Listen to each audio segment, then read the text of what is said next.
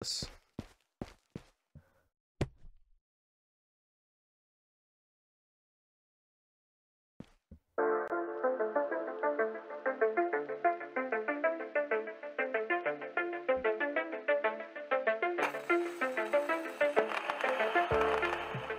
Welcome to Tabor.